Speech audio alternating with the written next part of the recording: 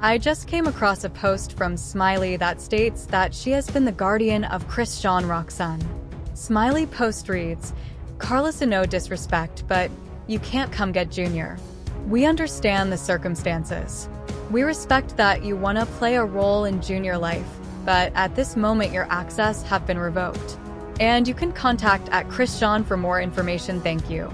Good day. Junior is right here with family.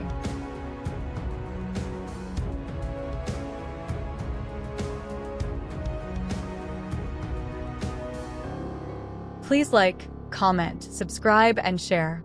Take care.